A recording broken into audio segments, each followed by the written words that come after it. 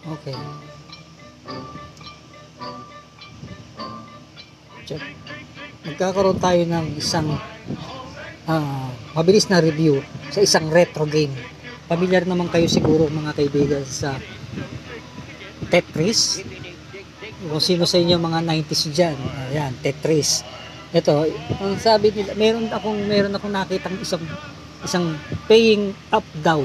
Hindi ko pa siguradong paying talaga siya kasi re-reviewin ko pa lang siya at hindi pa rin ako nakaka-pay out. Pero nilalaro ko na siya. Ito, tingnan nyo, Tetris. Ah, ano lang siya, try lang natin. Pero nasa ano na ako, mga kaibigan, no? Nasa 78.89 na ako. Play lang play. Yan.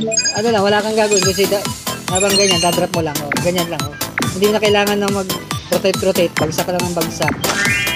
Habang nag-iipon ka ng ano, habang nag-iipon ka ng coins dito, yan, nag, nag-iipon ka ng coins.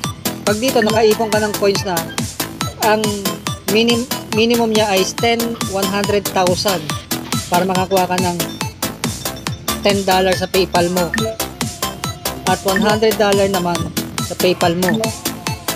Tapos $100 din sa Google Play cards mo so hindi ko alam kung ito ay legit pero masarap hindi ko lang alam kung ito ay legit pero masasabi ko na masarap laruin retro retro eh.